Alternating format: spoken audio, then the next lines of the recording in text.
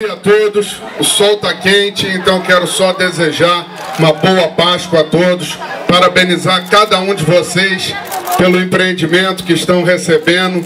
Vocês, mais do que ninguém, sabem da importância da casa própria, da realização do sonho. Parabenizar o meu irmão Marquinho Mendes pela perseverança. Parabenizar querido amigo Alexandre Baldi pela competência.